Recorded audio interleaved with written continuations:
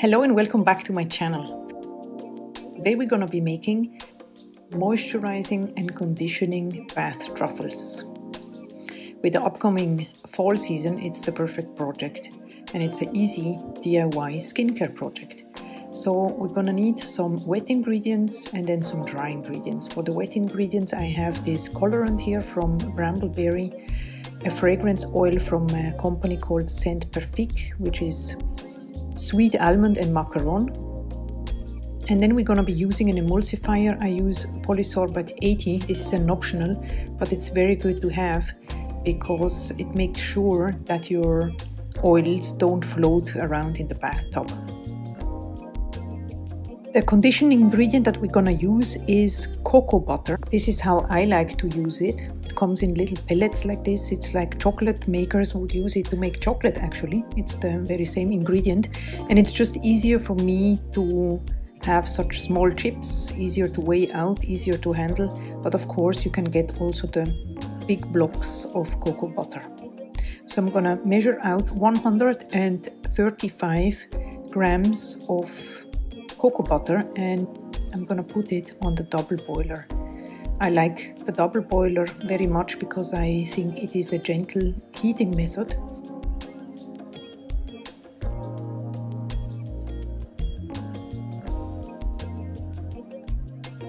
But of course you can also use the microwave, just make sure that you use short increments and you check frequently while your cocoa butter is melting down. While your cocoa butter is melting down, we are going to prepare the dry ingredients. And the first one is sodium bicarbonate or baking soda. This is um, the main ingredient in this mixture here. And we need two parts of sodium bicarbonate to one part of citric acid.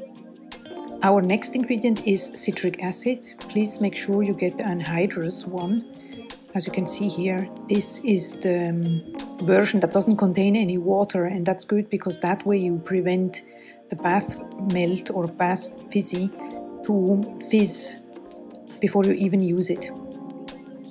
So we use 200 grams of sodium bicarbonate, so now logically we're gonna weigh out 100 grams of citric acid.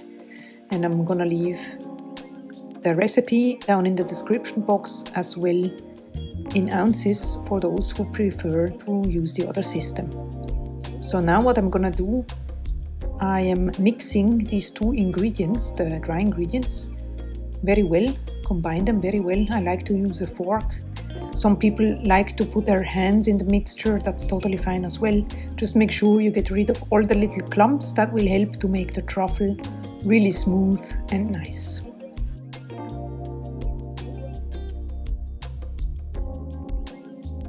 And in the meantime, our cocoa butter is completely melted, as you can see here. So I'm going to add the liquid ingredients or the wet ingredients to the cocoa butter, which is a couple of drops of this La Pomme colorant from Brambleberry. Then I'm gonna add three grams of the fragrance oil. You can use a fragrance oil, the one that you like, of course. And then optional but um, really I recommend it. It's um, 6 grams of polysorbate 80.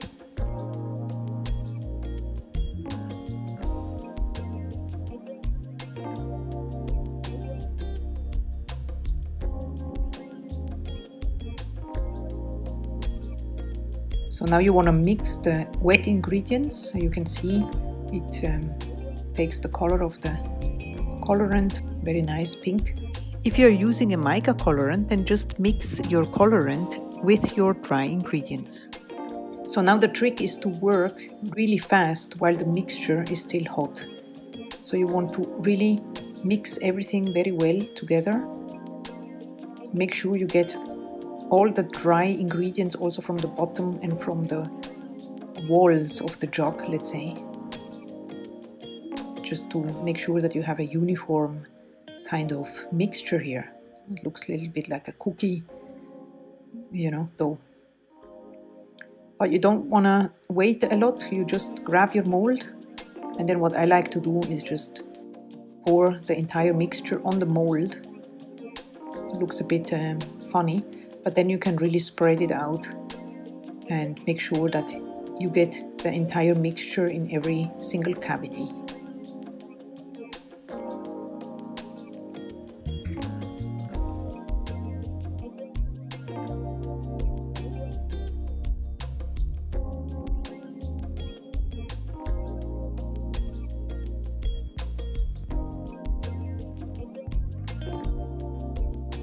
Here you can see me filling a similar mold, the same recipe for a donut kind of truffle. And if you're interested to see this video, I will put it in the top right corner. And the only thing left to do now is to wait for a day and come back tomorrow to see how it looks. And this is the next day here. And as you can see, they are completely solid and really rock hard. The cocoa butter really makes the mixture really, really hard, so that's what I like also about it.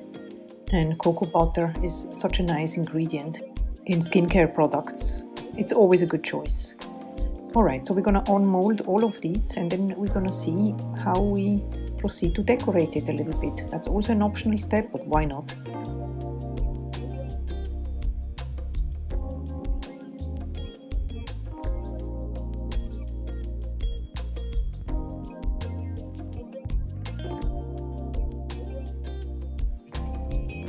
Okay, so I'm going to pour a little bit of white melt and pour.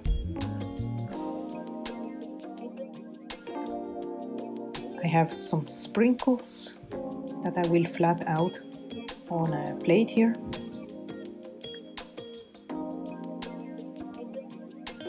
And these are just regular sugar sprinkles, the one that you find in the normal store. And then I dip the truffle into the melt and pour soap, you need to be very fast because the soap will dry otherwise or harden. So you want to dip it while it's still hot. And you're going to proceed like this until all your truffles are decorated.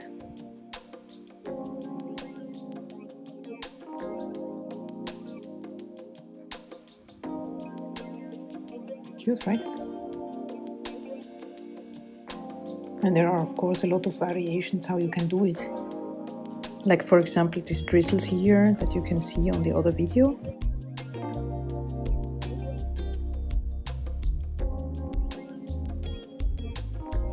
Here is how they look once they're all done. And now we're gonna add a little bit of glitter. This is a biodegradable glitter from Nurture Soap.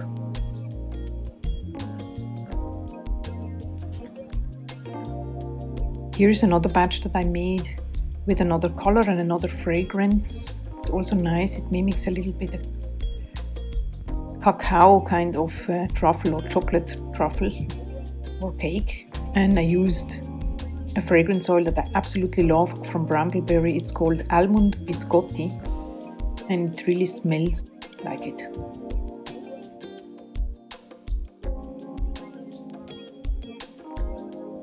So here is how they look when they are unmolded. And now we're gonna decorate this one a little bit differently. In goes the melt and pour. It's just white melt and pour. And then we're gonna take some sprinkles, just very regular sprinkles from the local store.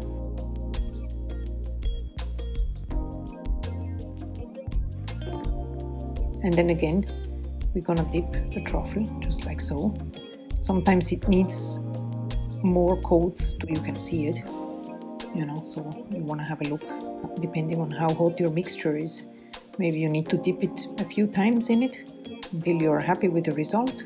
And then you just dip it into the sprinkles like so. And then you have another cute version of a truffle as well.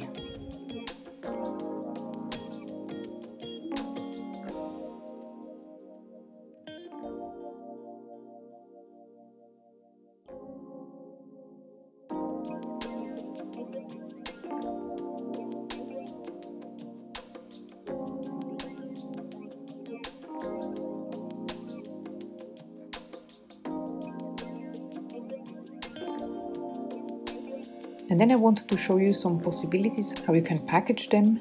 This is just a regular truffle box that I got from a chocolate supplier company. And then I just add a ribbon to it. You know, you do a knot. And here you have a nice gift idea. We're gonna show another example here with the other truffles, also chocolate box, another ribbon. This one we're gonna attempt to make a bow.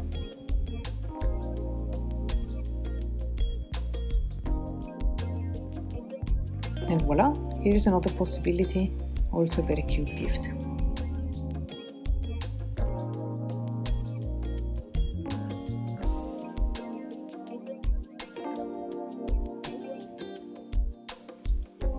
Alright, so I hope you really enjoyed this video and I hope to see you around very soon for another one. And in the meantime, I wish you a wonderful day. Bye bye!